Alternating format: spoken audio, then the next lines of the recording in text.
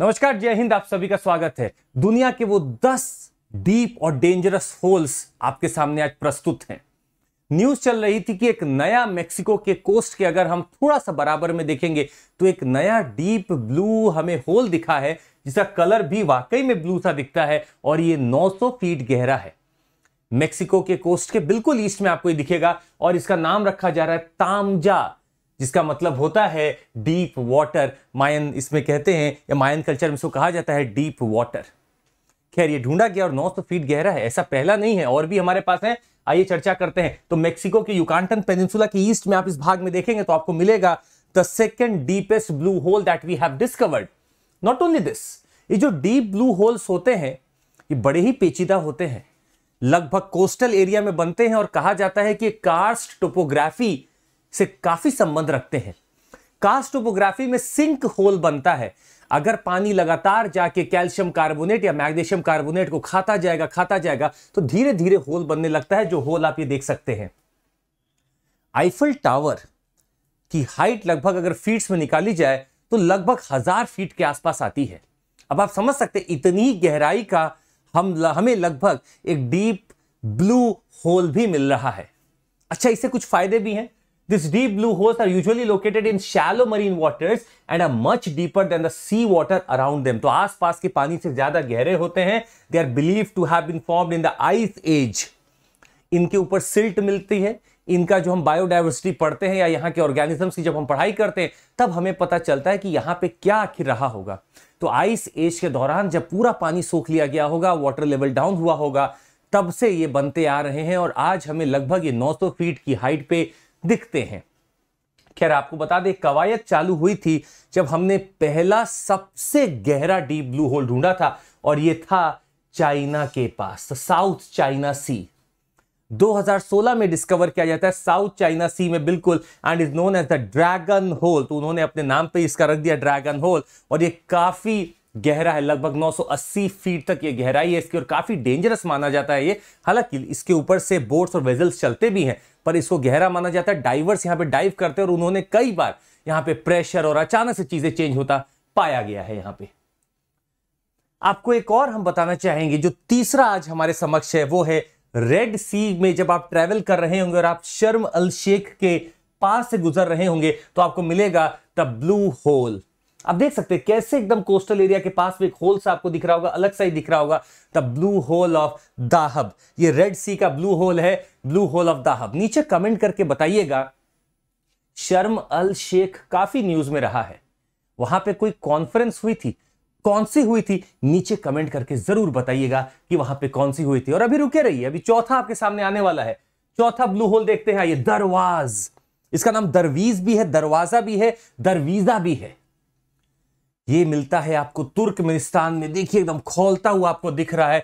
इस पे काम चल रहा था ड्रिलिंग का। और जब काम चल रहा था तो लोगों को पता चला यहाँ से नेचुरल गैस का भंडार है वो अचानक से आग लगी हुई, सब गैस निकलती रही निकलती रही। आज तक ये बुझ नहीं पाई है। The door to the gates of the hell Turkmenistan. The Darweze या दरवाज दरवाज गैस क्रेटर इसको कहते हैं डोर टू द हेल है। यहाँ से मीथेन इतनी निकलती है कि क्या ही बताया जाए आपको।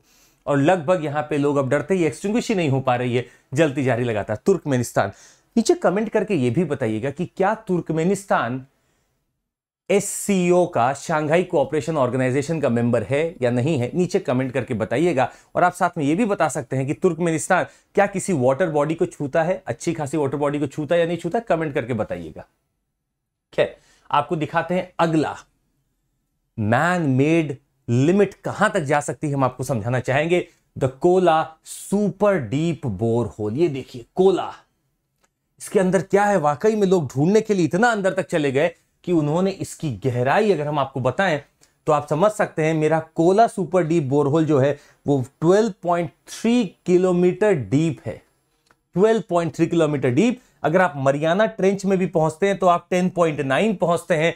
तो अगर कहीं सबसे डीपेस्ट पॉइंट में मुझे जाना था तो कोला सुपर डीप बोरहोल है जो इंसानों ने खोदा है मशीन्स का प्रयोग करके। और वो खोदते खोदते रुक गए, क्योंकि टेम्परेचर अचानक से इतने ज़्यादा बढ़ने लगा कि उनको लगा कि इतना तो मैंने एक्सपेक्ट नहीं किया था जितना टेम्परेचर यहाँ पे बढ़ रहा है।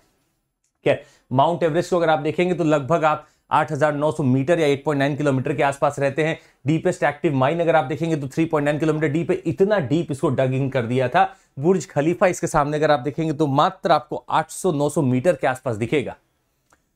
तो ठीक है like we can understand so deep that we have dug in खैर, आगे बढ़ते और समझने की कोशिश करते हैं।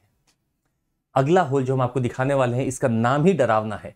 The devil's hole also known as the devil sink hole located in Texas the United States तो यहाँ पे कुछ इंसिडेंट्स भी हो रहे थे, लोग इसमें गिर भी जा रहे थे, जिसकी वजह से टेक्सस के पूरे पॉपुलेशन को इस पार्ट से हटा के कहीं और शिफ्ट किया गया।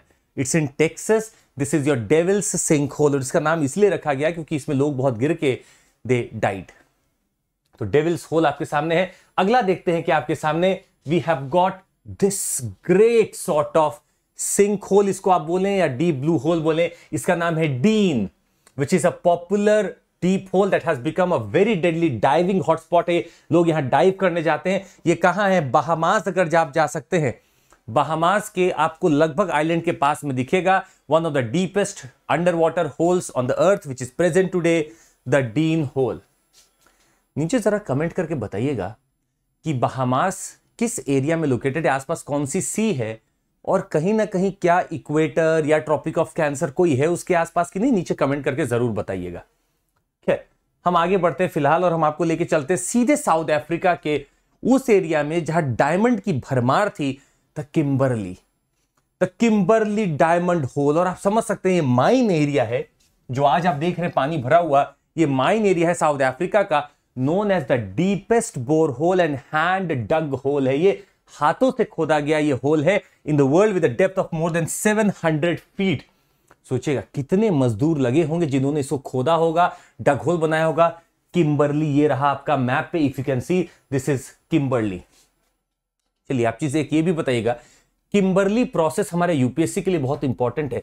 किम्बरली प्रोसेस क्या है? नीचे कमेंट करके ज़रूर बताइएगा और यह भी बताइए क्या भारत किम्बरली प्रोसेस का भाग है या नहीं है। I would be waiting for your answer आगे बढ़ते हैं और आपके सामने है Berkeley pit. Montana United States के मोन्टाना में सिचुएटेड है। The Berkeley pit this is situated in Montana United States the former copper mining pit that has a depth of around 1780 feet 1780 feet है ये द मोन्टाना या Berkeley pit अब आप समझ सकते हैं this is such such a depth और यहाँ से माइनिंग की जाती थी कॉपर की। खैर आगे बढ़ते हैं और दूसरा देखते हैं क्या है हमारे सामने। ये तो देखते भी कोई डर सकता है, नाम इसका glory hole and this is locally called as the glory hole there this hole is actually a spillway ये एक लेक है। इस लेक में जब बहुत ज़्यादा पानी भर जाता है तो यहाँ पे अचानक से इस होल में पानी अंदर की तरफ़ गिरने लगता है और ये बहुत बहुत ही ज़्यादा डरावना वहाँ पे मंजर होता है। This is actually a water disposal at the Monticello dam which is made upon Lake Berryessa Lake Berryessa भी बना हुआ है ये डैम और जैसे पानी इसमें बहुत भरता है, यहाँ से निकलने लगता है। ये डैम वैसे तो 1957 में कंप्लीट हो गया था, परंतु यहाँ पे होल देखने के लिए लोग आज भी जाते हैं। जितना पानी भरता जगह, अचानक से लोग ये एक्टिव हो जाता है होल और इसमें पानी जाने लगता है, ताकि वो कंट्रोल हो सके। तो ये लेक बरिस्सा है आपका, जिसको कहा जाता है द ग्लोरी होल ये अभी तक के दस हमने आपको होल दिखाया, पर हम आपको बता दें, भारत की चाँद बावड़ी, जिसको कहा जाता है, ये दुनिया की सबसे गहरी बावड़ी है, स्टेपवेल है, और ये भारत में मौजूद है। आपको बताना है कि ये बावड़ी कहाँ पे है, किस राज्य में है और किस एरिया में है। This is Chand Baori in front of you आप देख सकते हैं क्या बेहतरीन स्टेपवेल बनाया गया, स्टेप्स बना बना के नीचे तक वेल है, आप पानी देख सकते हैं नीचे। ये कहाँ स्थित है? आपको हमें बताना है कमेंट करके। I'll be waiting for your answers that would be all from my side कुछ आपको और भी हम बता दें? देखिए कंटेंट बहुत बेहतरीन आपको यहाँ देने की कोशिश की जाती है। अगर आपको लगता है कि आपको बढ़िया कंटेंट चाहिए you can join us 50 percent off अभी आपको मिल रहा है और आपको हम अपना टेलीग्राम चैनल भी दे देते हैं या ग्रुप दे देते हैं, जिसके साथ आप जुड़ जाए तो शायद हमें ही लाभ होगा उसका। हम आपके टच में रह सकते हैं। My Telegram group is Chandramouli C H N D R M O U L I Chandramouli S I R आप इससे जुड़ सकते हैं और आपको 50 परसेंट ऑफ़ दिया जा रहा है अभी किसी भी सब्सक्रिप्शन पे यूपीएससी के। बहुत बड़ी बात है ऑफ़र बहुत दिन तक नहीं रहने वाला है। अफोर्डेबिलिटी क्राइटेरिया बड़ी अच्छी हो चुकी है। हमारे बैचेस चालू हो रहे हैं सत्ताईस तारीख से। आप जुड़ सकते हैं अभी भी हमारे साथ। लक्ष्य बैच हमारा ऑलरेडी चालू हो चुका है, जो हिंदी माध्यम का है, वो बीस अप्रैल से ऑलरेडी चल रहा है। आप जुड़ सकते हैं। पूरा पैसा एक बार में नहीं देना होता। आप ईएमआई बना के भी दे सकते हैं। फैसिलिटी काफ़ी लोग लेते हैं। आप भी देख सकते हैं this facility you can take plus you are going to have a test online and offline mock test दे के देखिए एक बार। ऑफलाइन देना है तो दिल्ली जयपुर, प्रयागराज, पुणे और पटना में हो रहा है। और अगर आपको देना है ये ऑनलाइन तो आप रजिस्टर कर सकते हैं। इस पर क्लिक करिए स्कैन करिए रजिस्टर करिए, वहाँ डालिएगा सीएमसी कोड और आप सीधे हमारे एक ग्रुप में पहुँच जाएँगे। और आपको बता दें, हमारा ऑफलाइन बैच भी क्या बेहतरीन रिस्पॉन्स है, बहुत अच्छे से चल रहा है। आप उसके साथ भी जुड़ सकते हैं। The price if you want to see nine one five double zero C code आप यूज़ करके पा सकते हैं twenty five percent off C M C is my code that would be all from my side thank you so much take care Jai Hind. अपना ध्यान रखिएगा. पढ़ते रहिएगा.